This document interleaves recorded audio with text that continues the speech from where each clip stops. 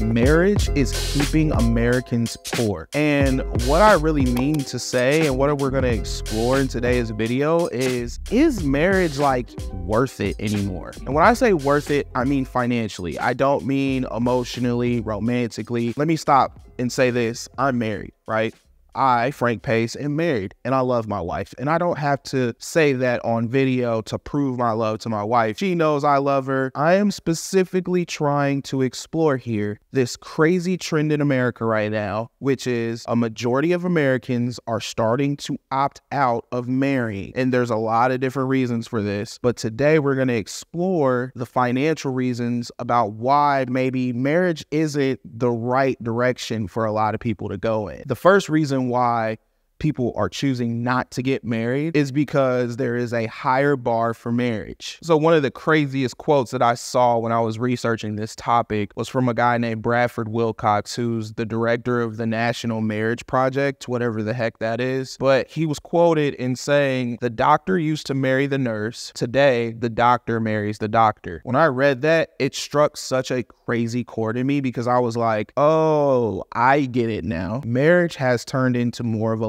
luxury thing, and people with higher incomes are starting to marry higher income people, meaning that the bar for marriage is just that much higher. Standards that we hold ourselves to in terms of being ready to get married, it's astronomically high. Like high income people expect that their partners are, if they're not exactly there, they're close, right? Like they, they're, if they're not college educated, then they make close to six figures or they're close to making that type of money, right? And so I think think the standards for marriage are just creeping up really, really high. And the reality of this situation is that a majority of individuals who aren't college educated struggle making high income, right? And the people who are marrying on at a consistent rate and consistent basis are high income earning people. And that's not to say that low income people or middle class individuals don't get married. They absolutely do. What I will say is that marriage almost seems to be more of like a status symbol versus like something that everybody does as soon as they get out of high school. Like if you look at the data, the data tells you that people are getting married later in life now. There, there's no longer a huge influx of people getting married at 20, 20 21, 22. That's not the norm anymore. More people are starting to get married in their 30s, mid 30s, almost 40s, right? And it's because they have high standards. And I'm no marriage expert. Look, this is not a relationship channel. This is specifically talking about financials, right? The reason why people do that is because the order of operations in which they want to get married is different now, right? People want to go to school, go to college, get a good degree. They want to be established in their career, making a bunch of money, and they want to take care of their debt, right? And that brings me to my second point, which is debt. Debt is a huge factor of why people are not choosing to get married like they used to, right? And that's because the world we live in today is crazy. I talk about this all the time. The cost of living, how much student loan debt is today, credit card debt, overall just wages being stagnant is leading to this ugly financial mess of people going into debt earlier and more often in their life. There's people who literally do not want to bring debt into a relationship, right? And so they tell their people that they're dating, hey, I want to take care of this student loans. I don't want to get married and have this debt in our relationship because I don't want to bring that to the table. And honestly, that is a big thing for people right now. And I mean, who can blame them? Like at the end of the day, if you look at the data, it tells you that divorces 25% of divorces are because of financial stress, meaning that people come into these marriages, come into these relationships with financial issues and they can't work through them. It's the old adage. We've all heard it. We've heard, you know, divorce attorneys talk about this. We've heard accountants talk about this the world over. There's so much research to support that financial reasons is one of the biggest causes for divorces in America, right? And so debt is a big reason. It's a huge reason. And this is why I teach so much on my channel that you got to get out of debt. You got to pay for your debt because you don't want this to affect the rest of your life. It is such a big issue, right? It's such a big problem, specifically when it comes to getting married. The third reason why people are not getting married as much as they used to is because honestly, the cost of divorce is so high. And so when I was researching this, you know, I was pretty amateur s to the world of divorcing and what that means and how much it costs, right? And I didn't know the different intricacies of it, but when I researched it, it kind of blew my mind how expensive divorcing is. Like getting a divorce can be very expensive. And there's two types. You can either either have a uncontested divorce, meaning that both parties don't have a problem whatsoever. They both come to, you know, mutual agreements and they say, you know what, we're just gonna split everything down the middle. We're gonna keep this.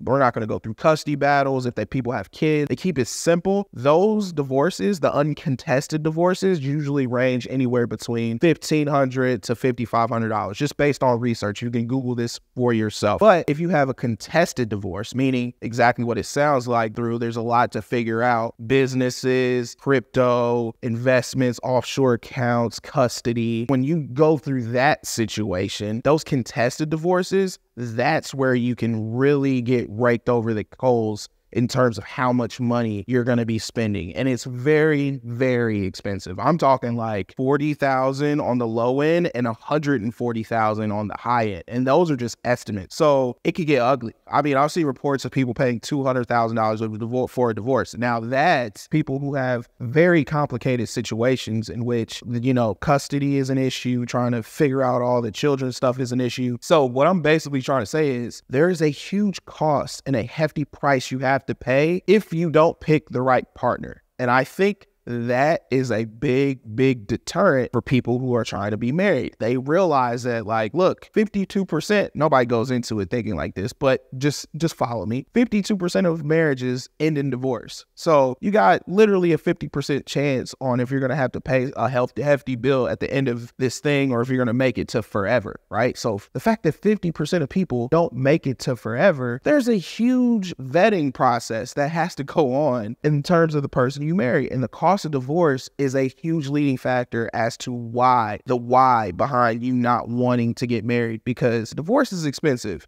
It's expensive from a financial perspective, it's costly in terms of emotional distress. It's costly in terms of life changes. Everything in your life changes. You have to move out. You got to separate. You got to have new everything. Your whole life changes, right? And when you go through that, that costs so much money. Really, it begs the question two questions in my mind. It begs two questions. What's the opportunity cost of marriage? And you guys know I'm always talking about the opportunity cost. And is it worth it? And in my opinion, it just depends, right? I'm a married man. I love what we do, but you got to understand, me and my wife met when we were 17. We went to college together. We graduated from the same college. We then got married right after that. We've been together for over 12 years, been married for almost seven and a half, eight years. There is a lot of history between me and my wife, and we invested a lot of time into each other. And I think a lot of people rush marriage, right? Because they want to be married. Married, being married is a beautiful thing. It's a blessing. There's a lot of beautiful things that can happen when you find find the right person. You build a life together, you build a family together, you have children, your children are beautiful. Like it's amazing. But for most people, it's really, really hard to find an equal partner in that. You know, is it worth it? It depends on what you're looking for. If you want financial stress and burdens and issues and all types of things, then you have to be able to sacrifice on the time side, right? Because it might take you a little longer to find that person that is equally yoked to you financially or equally yoked to you in terms of your lifestyle. Because honestly, the the pool, like the the actual candidate pool for your partner is smaller than what it used to be because the bar is so high right? And that is my main argument for this video today. We have a high bar because of the economy and the society we live in, which is making it harder for people to find like-minded individuals that they want to marry that makes it advantageous for both people. That's all I got for you guys in today's video. Thank you so much for stopping by. Please do me a favor and like this video. And uh, if you haven't subscribed to the channel, please do. 90% of you are not subscribed to the channel when you watch my content, which is absolutely unreal. Or subscribe to the channel because I do all this content. I post daily daily, every single day, Monday through Friday. And we talk about these very complex topics, how they apply to money, what you can do for it, my recommendations for you, and how you can change your life and make sure you're going in the right direction. So uh, do yourself a favor, do that. And uh, I'll see you on the next video. Thanks.